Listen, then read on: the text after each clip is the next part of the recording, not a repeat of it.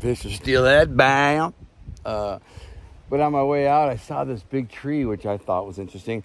I might be the only nerd you know who is like into trees and rocks and crap, but uh, for anyone else who might be, uh, I like to share stuff like this. Look at this big giant tree here. And, you know, for the record, that's a maple tree, I think, of some kind, possibly oak, maybe, maybe it's an oak.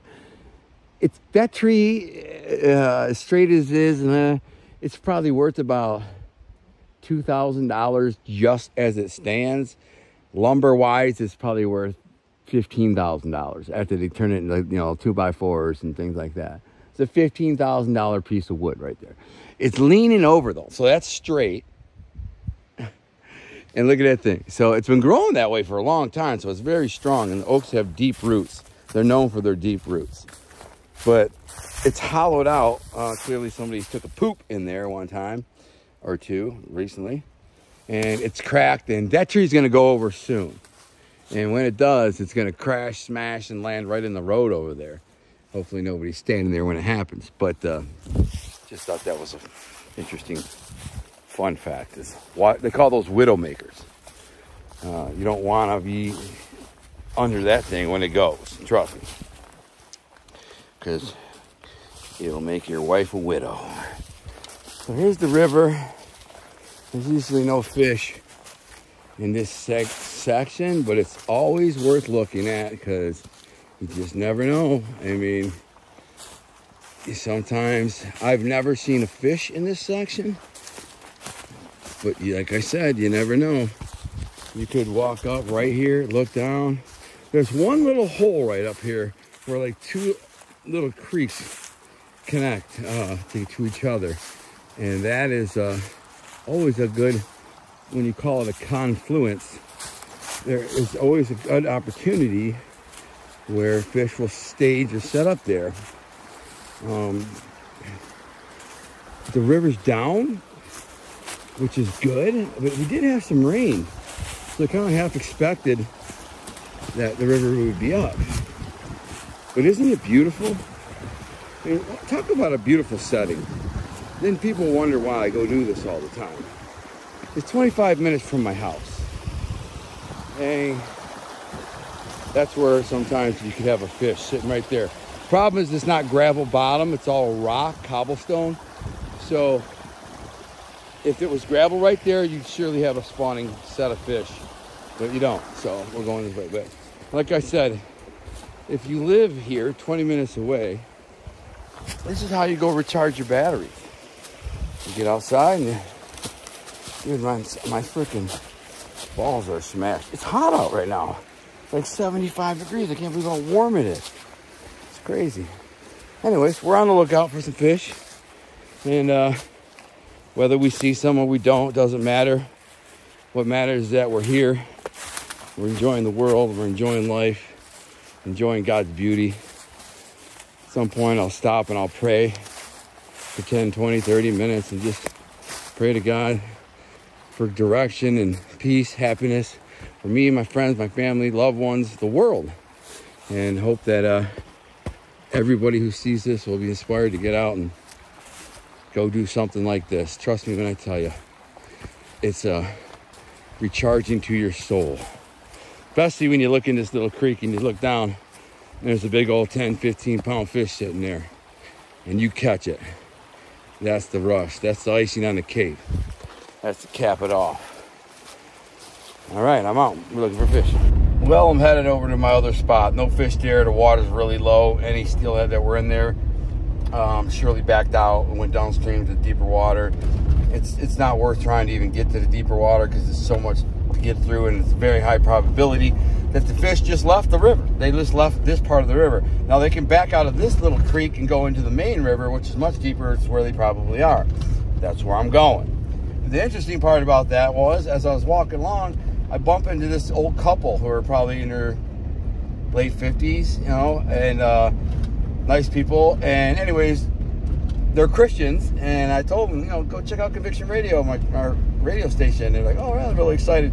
And they didn't know what they were doing. They had no idea what they're doing. They're like, well, we're here trying to check out some trout. I'm like, if you don't mind, would you mind me giving you a quick tutorial on how to catch trout? You know, because I'm kind of the master. I have been paid and offered to be paid for to take people trout fishing because I I catch a lot of big trout, and I know what I'm doing. Years experience, practice, research, whatever. So I like it was cool because they had like a big bobber on there and a split shot. I first of all take that that bobber off. She's like, okay, but then I got a split. I said, I'll take the split shot off, and they're like, what? I said, yeah, you won't want nothing but a worm. That makes it natural. So as the worm floats down the river, it looks like it's a naturally floating worm down the river like any other worm. If you put a split shot on there, the split shot and now is snagging on the bottom and the worm's going stopping, going stopping. Something doesn't look right. And the trout are aware of it. They are cogent. They are able to discern, wait a minute, I've eaten a thousand worms in my life and none of them have ever moved like that worm. So maybe that's danger and they don't, they'll just let it go by. They'll wait for something else. So, anyways, I told them that, and I, then I walked them over to a hole, and I said, "So you see the dark area under those trees?" And my hatch is open. I said, "See that dark area under the trees and, and that hole right there?" She's like, "Yeah, that's where your trout will be. So you don't have to cast in the rapids. You don't have to cast where there's you can see the bottom and the rocks, and uh, don't bother because trout won't be there ever, never. You can spend the rest of your life maybe you'll get one randomly. I've seen trout in like random rapids and just hanging out in the shallow nowhere, and I've caught a few that way. But for the most part, you're not going to catch any fish just casting in an open area. You have to find deep holes and structure. Structure. They got to have structure. They need somewhere to hide, um, and that's because they're hiding to ambush things that come by, whether it's a bug, whether it's a worm, whether it's another fish. They're bang. And they have to have the perfect current. That's the other thing people don't get. Trout have to have the perfect current. They will not be where it's too fast. They will not be where it's too slow. They will not be where it's too shallow. They will not be where it's too deep. Well, they might be where it's too deep, but they will. They have to have the, the right current speed. Why?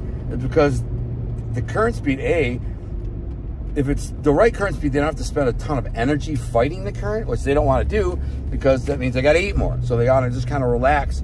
But they also want it to go fast enough that it's bringing them food and bringing them oxygen. The faster water brings them oxygen so they can breathe faster.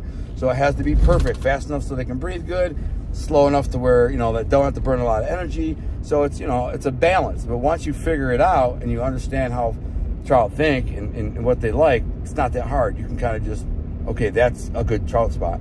And usually nine times out of 10, if I'm on a good river where I know it hasn't been pounded by fishermen, I can walk up to a hole and look at it and go, okay, there's going to be a trout there. And almost on every first cast, just bang this trout every time. But, you know, most rivers aren't like that because they've been pounded by fishermen. And so if you're, if five other guys like me have been there before you, then, you know, trout probably isn't there or somebody's caught it or spooked it or caught it and let it go, whatever. Here we are at my spot. So I'm off to go to the next spot. I'm out. Such a beautiful day. I wanted to uh, share it with you. This kind of what I do when I'm uh, soul searching, excuse me, hole searching. Let me take this thing off here. This helps me see better. Um, call it soul searching because I'm really hole searching. But so I haven't seen any fish yet because the river's real low. And so like I try to make these educational too, so I'm not just like, look at me, I got a fish or I'm out here, whatever. I want people to learn. So while I'm, what I'm using here, and I was just teaching these people at the other river how to trout fish and steelhead or giant rainbow trout. All trout are very smart. They very, they see everything. Uh, they approach everything the same. They look for the same habitat. They look for the same um, food. So I learned over the years. I used to use a split shot, which is a little tiny sinker on your line to kind of hold it down lower and slow down the, the, the you know, the, the presentation. That's wrong.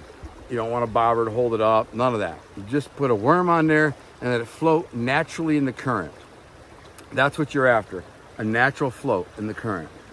It, because the trout notice, like I said, they, they if, if, the, if the thing is bumping along and doesn't look right, they'll, they'll pass it by. So trying to get just a worm, casting with a worm with no weight is very hard trying to get it exactly where they see these fish because it's so shallow out here they're going to be pressed up in that bank so i'm almost sure somewhere under that bank over there is uh, steelhead or two or three or however many um, but i literally have to get this worm within like inches of that bank.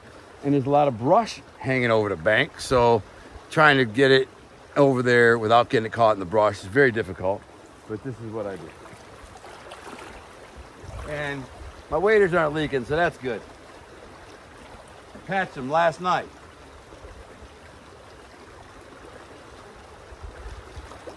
This is not probably gonna yield anything because I just can't cast it close enough to the bank because of all the brush. I'll just get snagged. And I'll have two choices. Go over there and unpull it out or break my line, which I would probably just go pull it out. But there's a lot of current here and it's not fun trying to blast your way through that current because there's a log jam right up there. I don't know if you can see it. There's a big log jam and it causes all the current to funnel together in like a five foot wide spot. So it's blasting. So if I got to cross the river into that, it's uh, not fun. Anyway, this is what I do. I'll find these little spots, riverbank holes. But really,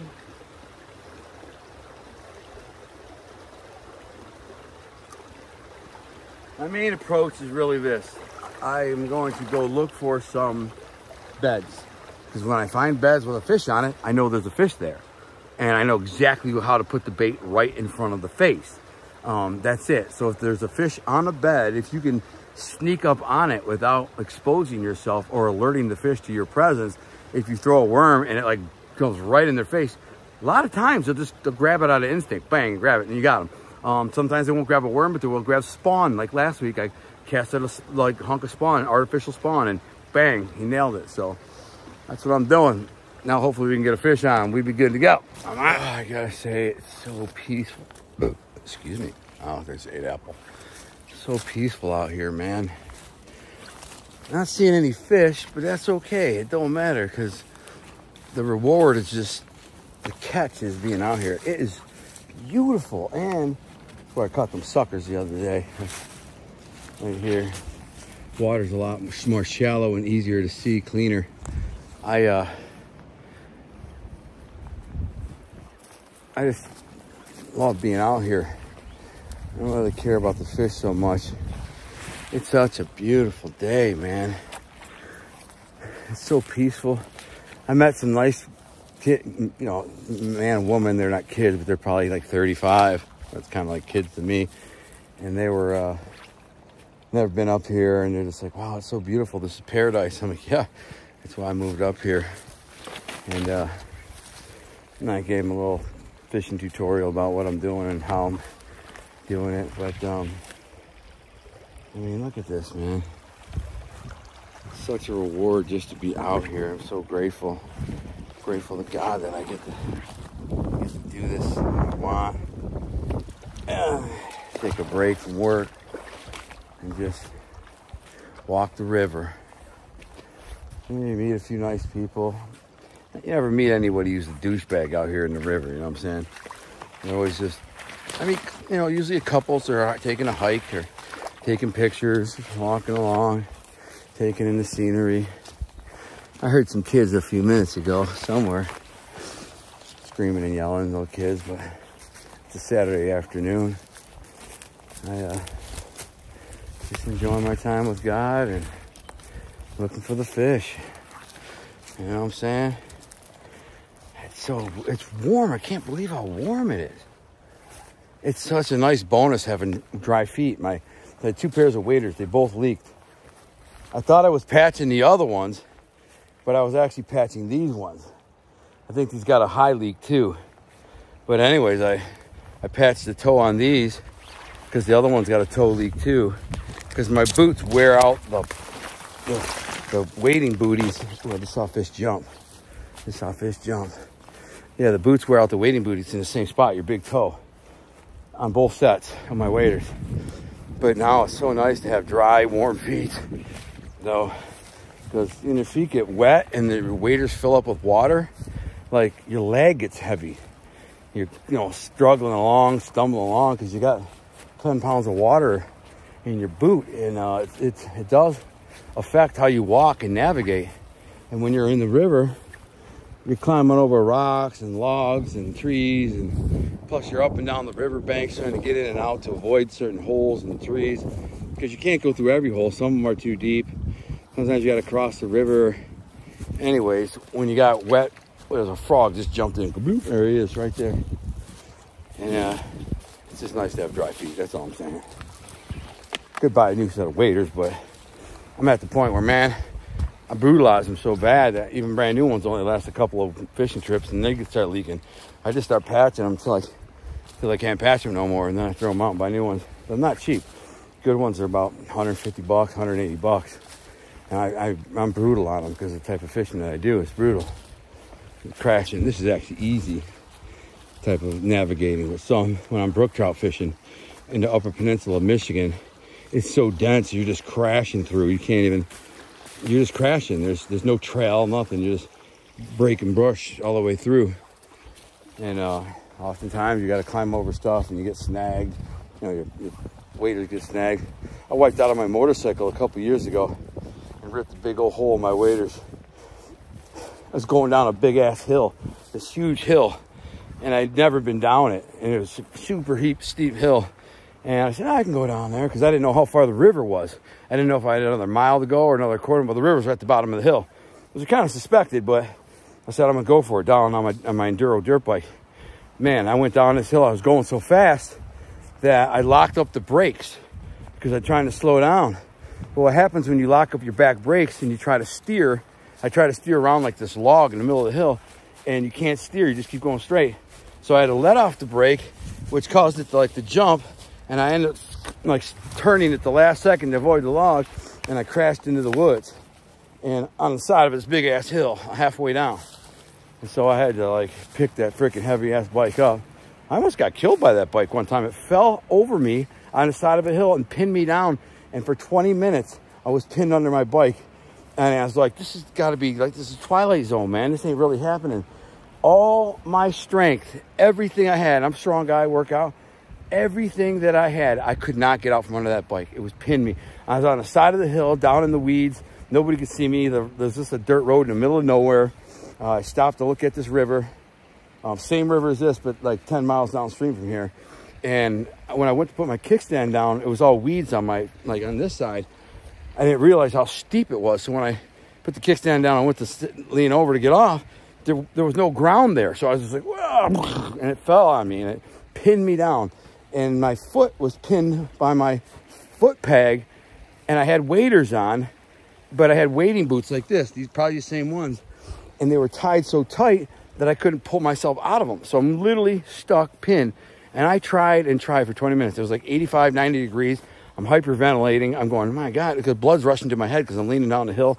I'm starting to get lightheaded. I'm just like, this is where I caught this fish last week. And I'm like, this isn't really happening. This can't really be happening.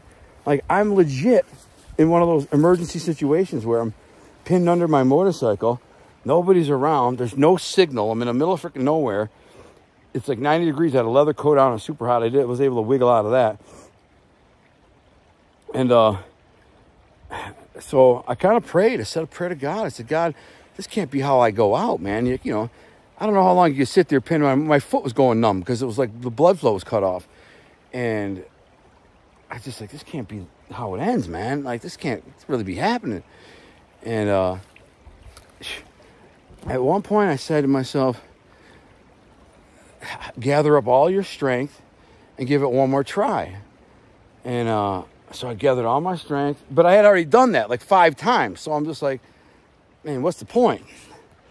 And I don't know what I did differently, but I, I kicked my foot, my other leg up over, and I pushed on the on the handlebar, kind of twisted weirdly. And I had already done that and didn't budge, but I tried it again and I gave me just like one inch really quick. I felt it moving. I slipped my foot out a little bit and I slipped it down. So then I get up and I'm standing there in shell shock, kind of like, what the frick just happened? Can't believe this really happened. And I'm on the side of the hill, but my bike slid down the hill about 10 feet when I fell over, and it's just high weeds and grass. So I'm kind of just standing up to my chest and weeds, and the like top of the hill is about neckline, and uh, and the road was there. And some random dude pulls up, gets out of his car. He don't see me, and starts looking at the river. And I knew I wasn't going to be able to get my motorcycle back up the hill by myself. The thing's so heavy, man. It's like 350 pounds. It's just so heavy. It's built like a tank. That's why I still, you know, it's an older one and this thing's a beast, but it's just a tank, solid chunk of iron. And uh, I, I was like, how am I going to get this thing back up the hill? Like, you can't even get on it to drive it because you'll fall over. And uh, so I say, hey, man. And he flinches, like, what the frick? He's like, man, where'd you come from? I said, man, I just fell over my bike. I was pinned. I got out. I'm out of breath, sweating. He's looking at me crazy. He turned out to be a bail bondsman, right? And he thought some some some bikers were following him around to try and get him, and he thought I was one of them. He actually went in his car and grabbed his gun. He thought it was like an ambush or something. It was totally funny. But um, but I said, hey man, could you help me, dude? I like, could you help me push my bike back up? And he's super nervous. And even the two of us together like couldn't do it on our own. So I had to fire the bike up, put it in gear, and then we both pushed. And I kind of feathered the throttle with the gas, one moment, and got it up the hill and got it. And then, you know, he, I told him who I was. He told me he's a bail bondsman. I'm like, oh well, you're gonna flip out when you when I tell you who I am or my story. And the whole time he's like, I'm super nervous. Anyways, I became friends with a guy, and we ended up going camping the next week, trout fishing.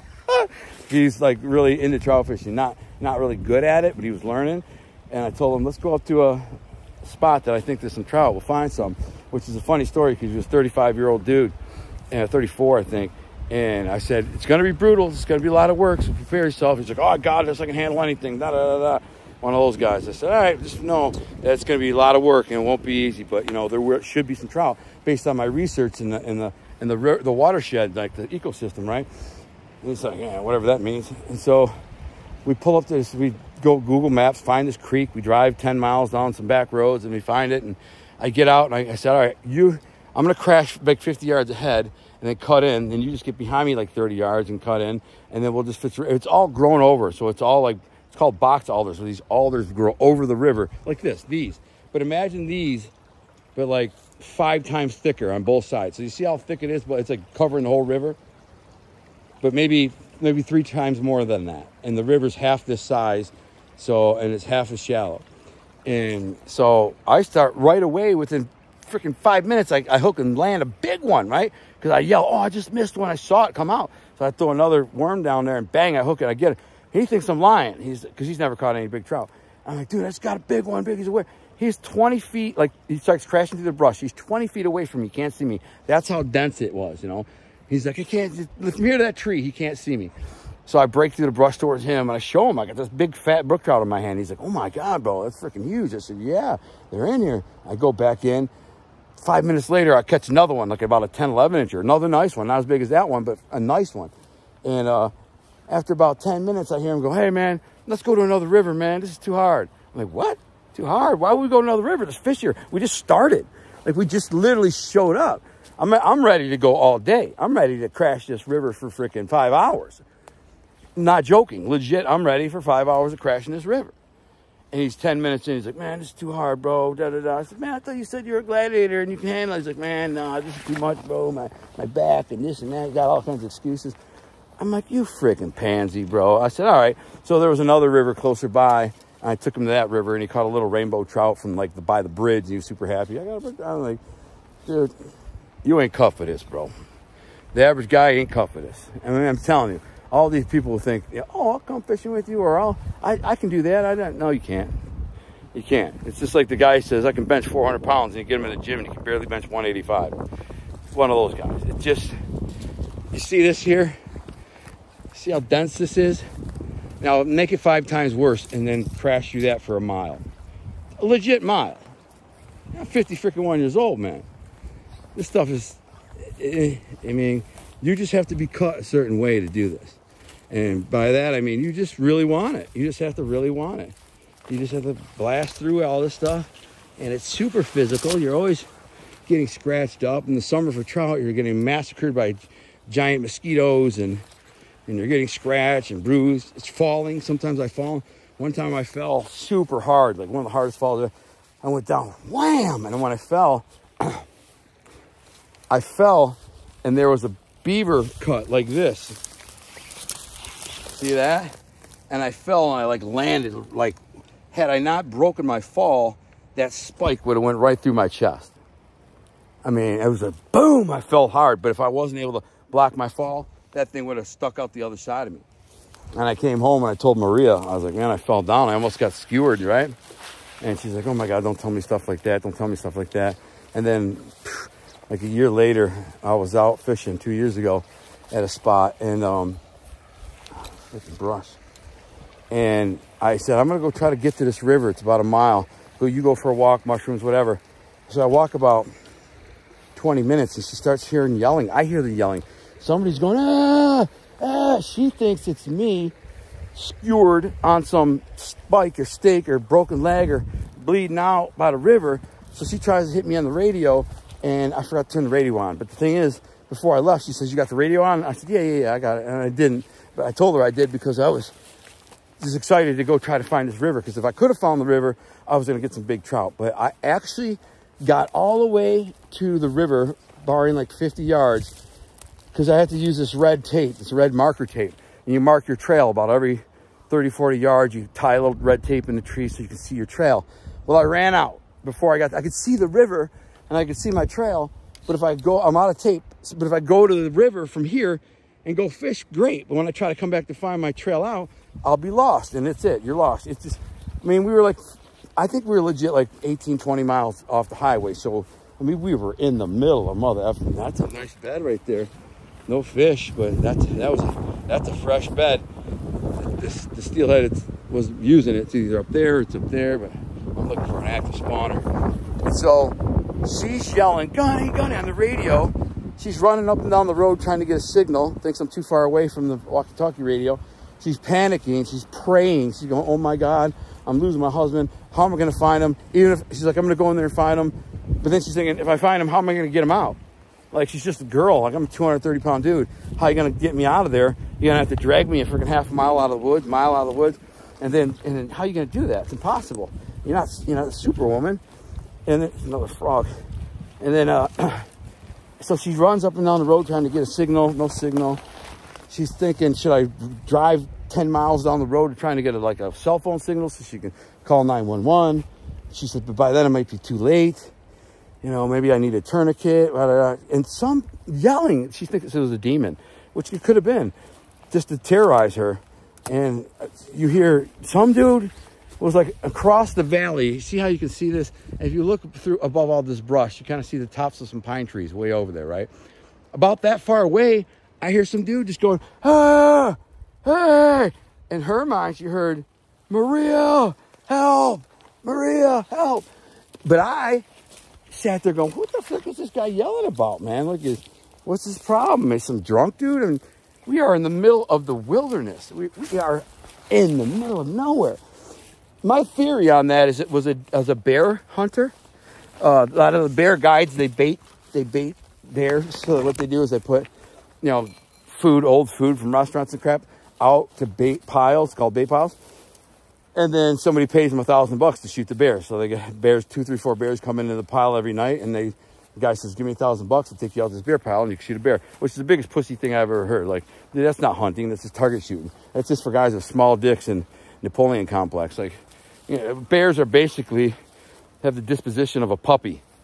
They're super non-intrusive. They don't bother anyone. They're not killers. They're not trying to attack anyone. They just want to live their life and be left alone, please. And they're super nice and docile and cute and curious.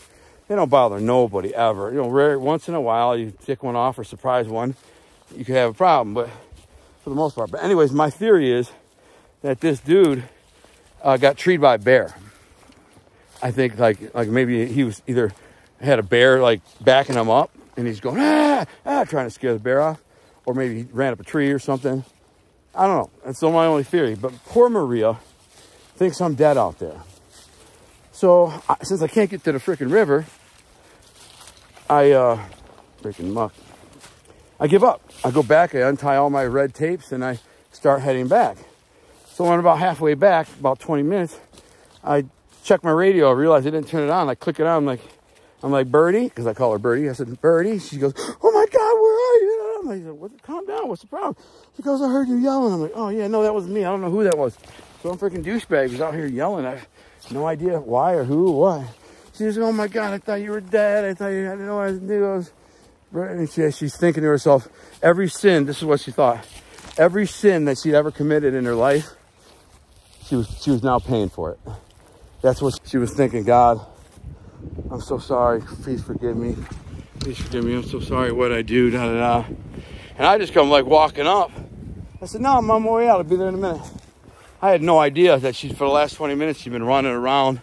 She ran like a freaking half a mile, quarter mile both ways, and just trying to get a signal, yelling, Gunny, you there? Gunny, you there?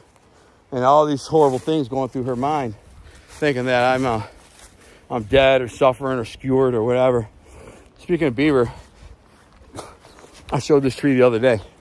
Look at this freaking beaver cut down this tree. I mean, and then he just went had I mean he just went ham on this mother effer. Yum yum yum yum yum yum yum yum. He started on the bark and then said at this particular spot he goes, hmm, this is a nice tender chunk. I'll eat some there. And then I'll eat some there. And then I'll eat some here. And look he just he really liked this part of the smorgasbord. He's this is his freaking jam right here. And then he cut down some more trees over there and did the same. Funny, man. No joke. A lot of people don't realize like how, you know, when they talk about beavers cutting trees down, they don't realize that they legit cut trees down like big ass trees. This freaking beaver cut a freaking, cut this tree down with his teeth. The whole tree. That one too. Another one over there, and another one over there, and another one over there. He's been eating it. He likes these. These are popple trees. That's what they typically eat. Um, sometimes they eat pine. The other day I found one where they were eating apple bark off the apple tree. Like I just did a little lunch. We took a break to have a little snack. I mean, think about that. Animal that eats wood. It's the most bizarre thing if you think about it. An animal that eats wood. That's what he digests. That's where he derives his nutrients. It makes you wonder, man. Like, if you were starving, could you eat wood? I mean, clearly it has nutritional value. I just don't think humans can metabolize it. I, I don't think it's possible. Maybe a little bit. I think we could eat grass, some of these weeds and crap, and I would if like if I was starving. That's where I one time caught a Moby Dick fish in there. Never did land them. That's a whole nother story. But um, I think you'd eat weeds and leaves and crap, but it wouldn't give you a whole lot of nutrients anybody who knows the story about that plane that crashed in the, the Andes for the soccer team, okay, uh, Argentine Argentine soccer team, uh, the plane crashed in the Alps, and they, they, they it was just a soccer team. Everybody, half the people were dead, so they sat there for three, four, five days, starving. Eventually, this is a true story. You can look it up they started eating the dead bodies that were frozen, you know. They started eating dead bodies and they just, to survive, they had no other way. That one of them said, hey man, we got to eat Bobby, man, or whatever. I'm starting on the rump. I mean, if we're going to live, we need nutrients. So they started eating. So I think there was two of them decided we're going to walk out of here. So it was like 40 miles through the mountains. Nobody knew where the plane was. This is before like GPS and stuff was everywhere. And uh, nobody knew where the plane crashed. They knew it crashed in the Andes somewhere but they didn't know exactly where. And you're talking thousands of square miles. So they had no, it was just on the side of a mountain in the mountains, like just, just rolling mountains for miles, hundreds of miles. So these two dudes, God bless them, these two gangsters, man. They took as much clothes and stuff as they could and packed a bunch of dead body meat, raw meat. I don't even think they they they cooked it. Pretty sure they didn't even have fire. And they slept on the side of mountains. And these mother effers hiked 40 miles over the mountains and hiked out of there. And then finally, after like 40 miles, the mountain gave way to like a valley that had like grass and stuff. That's what made me think of this. And they like just got on their hands and knees and started eating grass. They were so happy just to have some grass. And uh, this is a tough spot to navigate. You gotta you gotta just crash it. Of course, your fishing line gets tapped, gets, gets caught and everything. So yeah, and what up, ended up happening is these guys are like sitting there mowing on grass by this creek, and some farmer, like Argentine farmer, Venezuelan farmer, I can't remember, one of those South American countries, uh, comes pulling up on a donkey and was like, yo, what the frick, you guys are all right? And they were like, oh my God. I told him who it was. And the guy knew, he's like, he heard of it. You know, he's like, oh my God, you're one of the survivors of that plane crash. And, uh, and so the line is all screwed up, man. Just gotta make sure I don't lose all my line. And so, um, they ate the dead bodies. They made a movie out of them. They made a movie out of that whole story about these guys who freaking ate dead bodies and hiked out of there. I can't remember the name of the movie, but this stuff is dangerous. See this? This is another part of crashing. It looks like it's stable, but oftentimes you step on it like a frog. See the frog right there? And you'll, you'll another frog. You get stuck in it, man. You step into it and you go up to your waist and then you're stuck and you can't get out. That's often happens and it's not fun because you gotta pull your boot off to get out. Then you gotta get on your hands and knees and pull your boot out. That's if you can even get out. There have been times like I had to just fall down and relax. It's quicksand. It's what people call quicksand. It's a form of it anyways. And uh,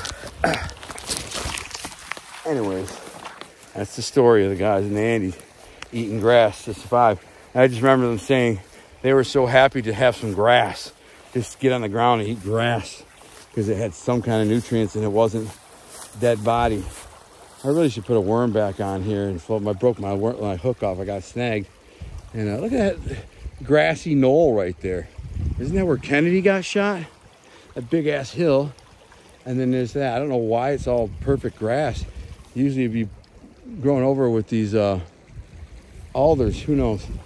I don't know the ecosystem, but I know this. I gotta get back to fishing. I'm just saying.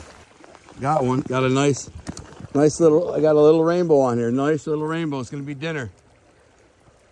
Been fighting it for a minute. Uh oh, get out of the logs. Yeah, nice fish. Got on the worm. Nice little rainbow. That might be a brookie. Nope, it's a rainbow. Swallowed the hook, so this is gonna be dinner. Beautiful little rain. About a 14 inch rainbow. Nice. There's some guy who's been talking to you for the last 10 minutes. Nice little rainbow.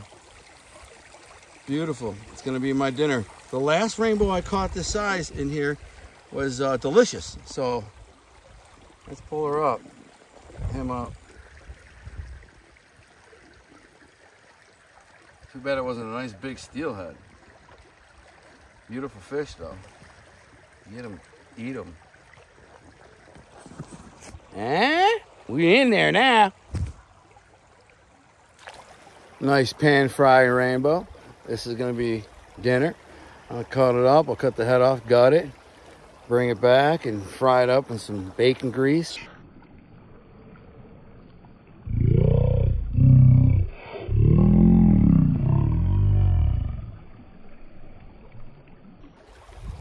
That's a good day. I even saw the lights of the Goodyear blimp that said LLU Pimp. Huh? Gotta do a video about black flies. Black flies matter. Every year I do a video like that. And because they come out for like two weeks every year, black flies. And they're the worst. They bite the crap out of you. Maria's allergic to them. So when she gets bit, they leave like a welt, like a cigarette burn, like somebody burned her with a cigarette. So she can't. And like off, DEET will keep them off you to a degree. And she won't wear DEET. She's like, I don't wear the chemical. I'm like, whatever then, get eaten up. I'm wearing some DEET.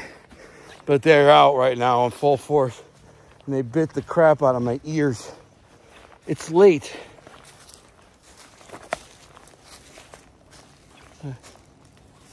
I heard somebody, there's a, somebody walking a dog. Like, what the frick? I know I heard man-made sound as a dog's leash. And that freaked me out because I'm way back here. But uh, it's late. But I know where a couple of steelhead were on their beds last week. And I ran into a guy who's been fishing up and down the river with his buddy. Some old timer, been fishing here for 50 years, 40 years. Comes here every year pestering all the fish, chasing them around. And then more power to him. He has every right to do that. I mean, public river. Oh, what was that, duck? But, um, you know, that's one of the reasons why I'm not seeing many fish. Because guys who don't know what the frick they're doing, they're running around throwing daredevils at them and Shad Raps and all this big old clunky lures that go kapoosh, splash. And, uh, I might see a fish. Is that a fish or is that a log? I do have, I do have, uh, Dude, I think, is that a fish? No, it's a log. I didn't say, man, that is a fish. I do have leaks in my waders, but I figure out where they are, so no big deal. I can patch them up. Not bad either. I knew there was a couple leaks in this thing. Not terrible, so I'm not soaked and freezing. This is that quicksand I told you about. You gotta watch where you step in it. Oh, oh see, look at that, how deep I went. It's almost up to my knee. Look at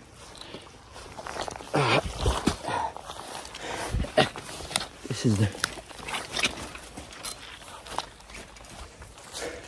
look at this um, human sighting. It's weird, you don't see anyone back here. Some chick walking her dog. Or dude, I can't even tell anymore. Could be anything. Could be a he, she. Stupidest thing I've ever heard. I'm a he, she, just if they even knew how insane they sounded, this generation, when they start talking about, these are my pronouns, he, she's, and it is what, like, if we could go back in time, just a 50 years, and, and tell people, this is what our youth is going to be like.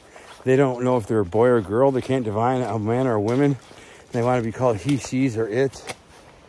They have no idea what they are they won't work because they're lazy, been coddled. And if they go to work and show up late and start getting yelled at, all they got to do is go, why are you yelling at me? I'm gay.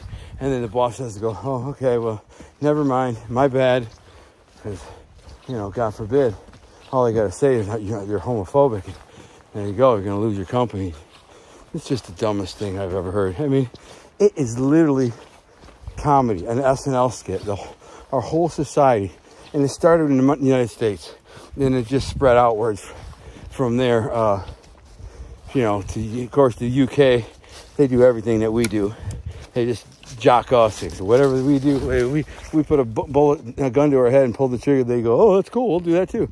In Australia does the same thing. Canada, Canada, just tries to take whatever we do in terms of wokeness and do it even better. And no matter what, their people like like 75% of the people are like, yo, this is insane. They're like, we don't care, shut up. We're doing whatever we want and uh, we're woke, so shut up. And it's just insanity. And that's the world we live in. You know, if we walk along and I see a dude with long hair or a chick with short hair, I, I don't even know what the frick they are anymore. This is what it is. Crazy world. This is a good hole. I should, I gotta at least throw a worm through it because I know those spawning fish were on the other side over there. So I'm gonna go see if they're still there.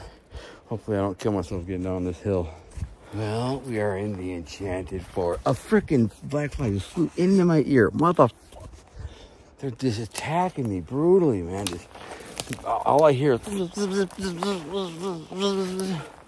they're bouncing off my face, biting me. My one boot is filled up with water because it did leak pretty bad when I got in some deep water. Uh, this enchanted forest is spooky right now. You know it's time to go when you hear a thunderstorm coming. Plus, it's going to be dark in about 20 minutes.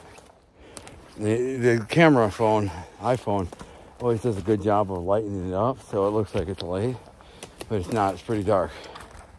And I'm about two miles from the car, and I hear a thunderstorm. You can hear it in the background. I didn't see a single steelhead today. I had to catch a rainbow trout. My shoulder burns. I did shoulders a couple days ago. This is where I saw some steelhead a couple days, last, well, a week ago. They're gone though. I had this conversation with this dude I met, right? Old dude. I don't know, probably 60. you know, I'm getting there. Getting there my darn self. Well, I gotta keep my hand out of this frame. And uh, he's been coming here for like 40 years. I never seen him. I've been fishing here for seven years all the time. So he probably don't fish that much. A talker, one of them guys like to talk, hear himself talk, which is cool. I'm the same kind of way. But uh, he's also one of those guys who talk about fishing more than he actually does fishing. Like, he's got a lifetime of fishing stories. And every time he meets someone, he wants to tell them all these highlights. I can't even begin to even, you know, I can't even begin to get into the highlights of my fishing. I could be here for a freaking month. So I usually just like, yeah, I've caught a few nice ones here and there or whatever. I don't really get specific, but this guy wouldn't shut up. He was just telling me specific story after story about this guy and that guy or him. Like, it's nice. One thing we both agreed upon is we hate people. And there are places in Michigan. I mean, Michigan is a fishing capital of North America, besides maybe Alaska, and even then. And the thing is, there are there are rivers I can go fish on the west side of the state that are just freaking loaded with fish. Oh no, it's starting to rain. Son of a putana. I gotta get moving. And uh but the problem is they're loaded with fish, they're loaded with people. Freaking people everywhere. And and I don't want to be around people. These freaking black flies, get out of my ears, man. Jeez. I don't want to be around people all day. You know, I've almost gotten fights on the river. I get stuck in every branch. I've had du- drunken douchebag idiots get tough. Not really tough, but had a couple incidents. One time, I was at the Tippy Dam. There's about 20 guys all lined up by the dam. I'm the first number one, like right up as close as you get. Because yes, I did debo my way up. I basically walked up and said, excuse me, man. And just muscled my way into the best spot, which is a douchebag thing to do. But I was, you know, like 25 years old, didn't care. Like, let somebody say something. So I start snagging salmon. I'm catching, I'm hooking them every five minutes because I'm snagging illegally, right? So every time I hook a fish, I yell fish on. See all the other guys would reel in the lines and we wouldn't get tangled. Now the river's big and wide and deep.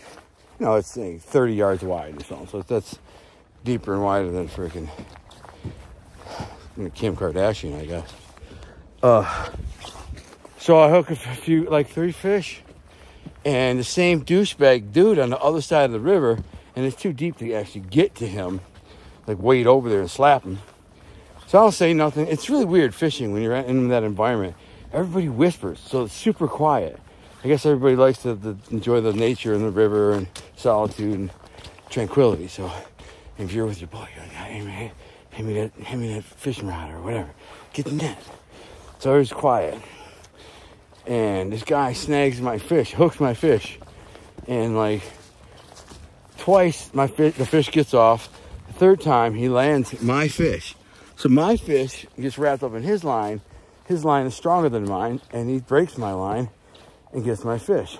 So I, I'm like, I don't like the curse, but I'll say, hey mother effer, you do that again, I'm gonna jump in my Jeep, drive over there and beat your brains out. Exact words.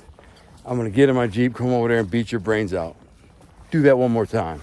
But I said it loud, you know, and I said it like, yelled, motherfucker, do that again. I'll come over there and beat your mother effing brains out. I know what you're doing. He don't say nothing. He just kind of like, he actually subconsciously backed up. I freaking bugs in my face, even though I couldn't get to him because I'm on the other side of the river. And so the irony of that was I ended up catching, I think three fish, landed them right there, right? But I'm snagging, and this is early cell phone technology time, so some people did have cell phones, and uh, and I had a feeling some people had called the DNR on me to tell, you know, say I was snagging. And I was like, I don't care. So like 45 minutes in, after I threatened to beat this guy's brains out, I said I'm going to take a break because I have a feeling the DNR might be here watching. That's my theory. So I take a break and I let these other guys move up into the spot where I was, which is the best spot. I was cool with them. Like, you guys move up here, you can have the spot. I'm just gonna chill for a few. So they get the freaking the casting under this wire, this cable, and you're not supposed to be up in there. Actually, you can cast up in there, but they went under it. They had waders on. They waded up under this cable They were it was illegal. And all of a sudden, there's like a hill behind me. It goes up and there's a fence. And all of a sudden, I hear, "You, you, and you, come here. Give me your license." I look up, and there's a woman, DNR officer, and uh, a funny story. And she's freaking, and I'm thinking, man, I could be busted here because if she was watching me up up until like 10 minutes ago, and I've been busted at, I've been busted kind of in a similar way at Foote Dam on the Sable River years earlier with these black dudes, which is a hilarious story. You should look it up on my YouTube if you watch this. Snagging salmon uh, got me busted. These two black dudes, they got them tickets. But, um, so she don't say nothing to me though. I'm waiting for her to go, you, and give me your license. You know, I watch you snagging. Yada. You know, so I just say, hell with it. She's giving these guys tickets and her back is to me. So I put this big spinner on, this gigantic Mepps spinner used for, for muskie. I think I got it from my grandfather. It's got a huge treble hook on it, right? So even though it's a legal, uh, you know, it's a legal rig, it's got this big snagging hook on it too. So I'm cat. Well, she's got her back to me. I got my kind of back to her. When she ain't looking, I'm trying to snag. And guys are looking at me kind of laughing, like, this motherfucker's got balls, man. Like, DNR is right there with her back to this dude, and I'm and I'm snagging, trying to snag salmon. All of a sudden, bang, a hook into one. I'm like, fish on. The chick turns around, she's like, what's going on? I'm like, the rod's doubled over. This fish is jumping. Like, kind of shocked right there. And it was a big female hen, and she pooped out after like maybe a minute or two, which I was kind of surprised because it was such a big fish. And the reason for that is when she bit down, she actually bit the spinner. She wasn't snagged. She just smashed that spinner. And she, when she bit down on it, all three trebles uh, hooked into her mouth. And what happened? What the frick is that? Coyote? Ducks? Um, all three trebles locked in her mouth. And what happened was it locked her jaw shut. So her lower jaw couldn't open to breathe in water so she could breathe air. So basically, she pooped out really fast because she couldn't breathe. So after like a minute or so, she just kind of came in.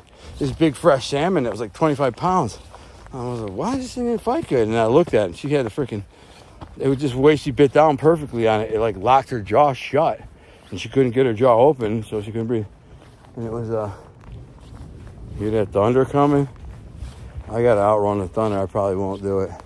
Look at this blue sky right there. But over there is a freaking thunderstorm marching my way. Anyway, that was my day. Out here on the river doing what I do. I got a freaking bug in my ear, man. Driving me nuts. It just keeps flying into my ear. Bite my face. This ain't gonna be pleasant when I, if I get this freaking hammered in this thunderstorm. At least it's warm.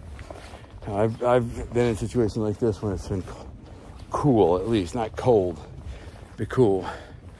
And uh, that's never pleasant. Two years in a row, this same river, I drove my motorcycle based on weather reports from my wife. She said, oh yeah, it's a beautiful day. You're gonna be good. Sunny all day. Jump on my motorcycle, gear up, drive 40 miles, 50 miles, whatever it is. Pull up, start walking to the river, and it starts downpouring ruins my day. I fish for five minutes. I do catch a nice brook trout, and then I just turn around. I'm soaked to the bone. My waders are filled with water. The day's ruined. Next year, come back, same thing, honey. Same weather report, same spot, same identical scenario, identical. Same time of year. I pull up, get my gear ready, grab my worms, my rod off my motorcycle, start marching towards the river, and freaking bug in my ear, man. And it starts downpouring, and it's not warm.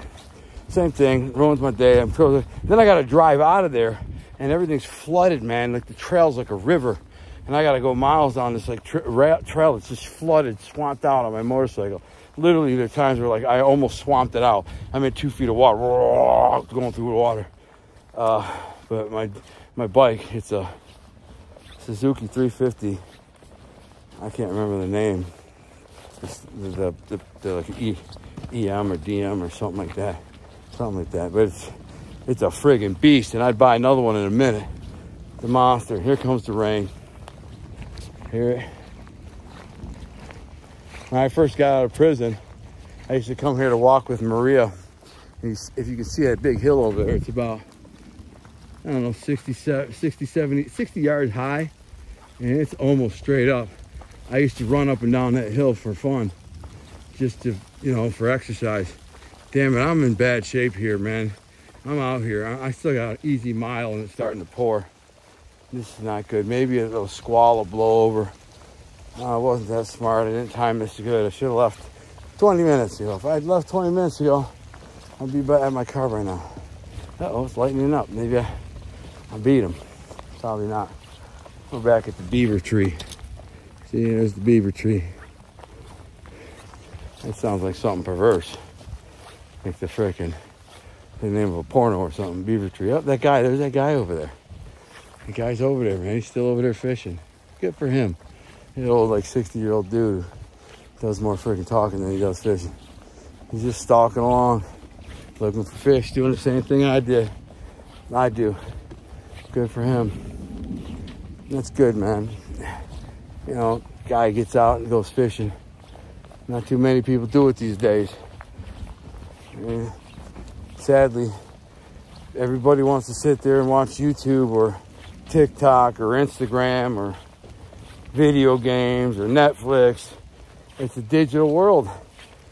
I mean, they're so good at recreating the world. Like, I'll post this video and people will be like, well, I'm going to go fishing today, just with Gunner. I'm going to sit on my couch and, you know, smoke a blunt, munch out, watch Gunner. He's doing that thing. No, no, don't do that. I implore. Get off your frickin' couch. Forget me. And get out here, man. Experience. You'll have a story to tell. I smell a porcupine. You can always smell porcupine den. It smells like a porcupine.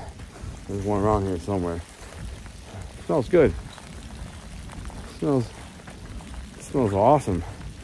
Man, if you could can that smell, you'd be freaking paid. I do remember when I was in prison, I was in these prisons downstate. Then I went to the prison in Detroit called Ryan Road. I was there for seven months, got into it with the, uh, the warden, well, the deputy warden.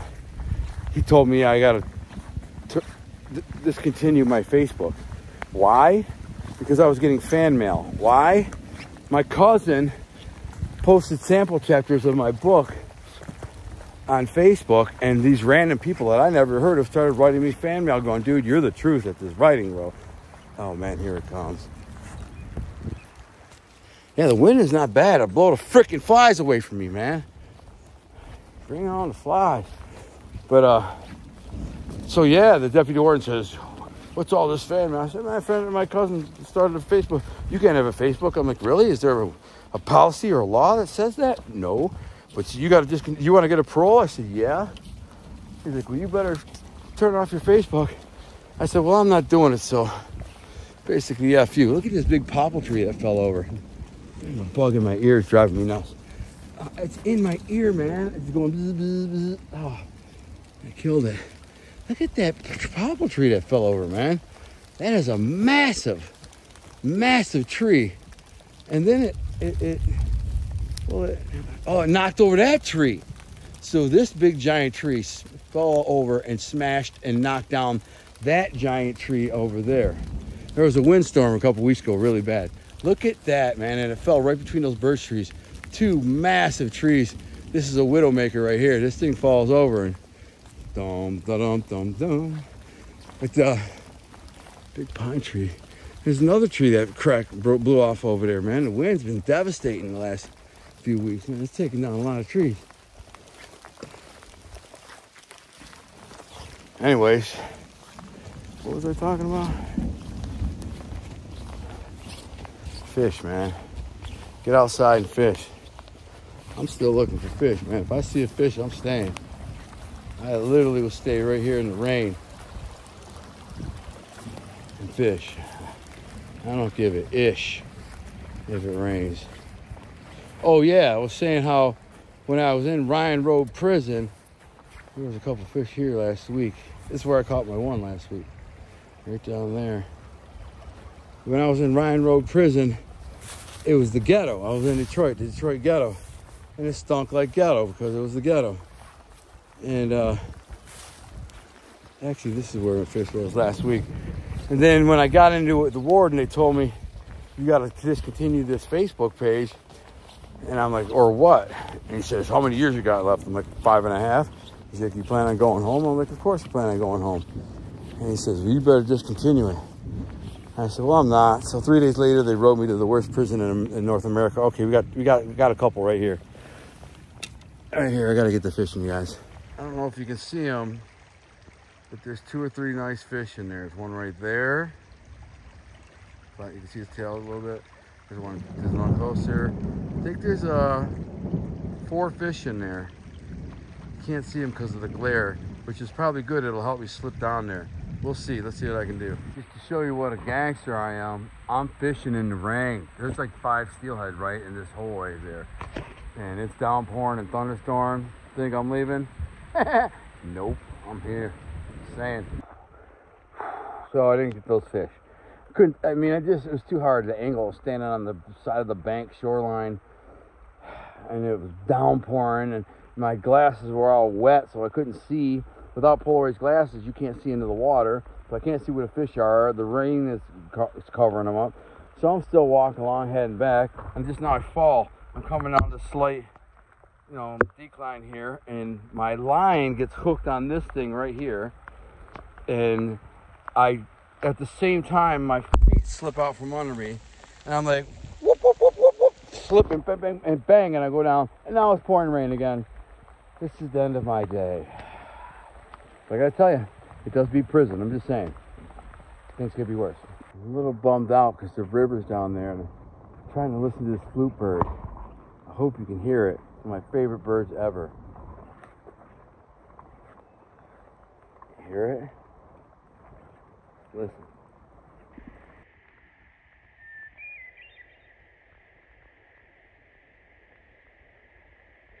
There. Nope. knows I'm here. He's a little nervous. Can't see him, but he's there. I lost him. There he goes, right there. There he goes. That's it. Flute bird. He's over there. Sounding off now. Oh, I love nature. Love it. This is my jam. This is my jam. These birds calling all around me. When I first got out of prison, I was driving my four-wheeler down this trail, down this big ass sandy trail here, and I ran out of gas. And I had to call Maria to come bring me gas. And I had to walk like a mile like a dumbass. I forgot to put gas in my four wheeler before I headed off on an adventure. And I get out here and I had to walk about a mile before I even got signal. And I'm like, honey, can you bring me gas to you know where? She knows where.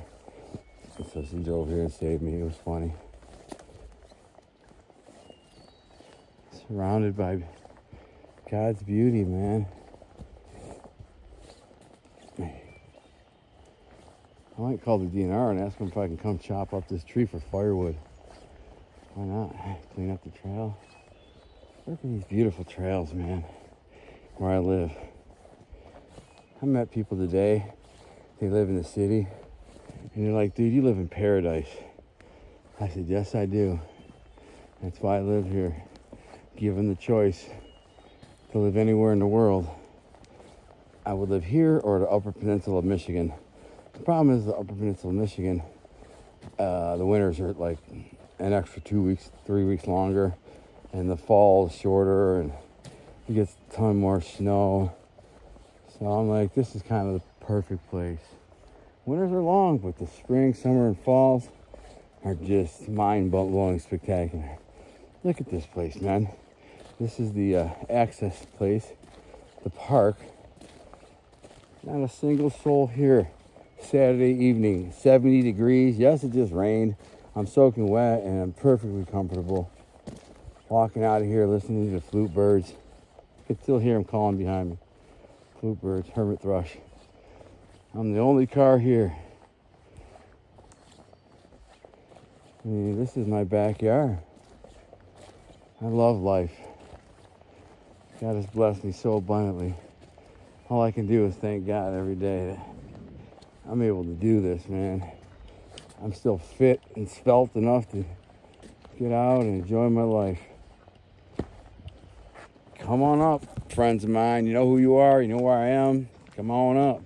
Let's do this. This is a campground a half mile from here on the river. Let's camp it out. Nug.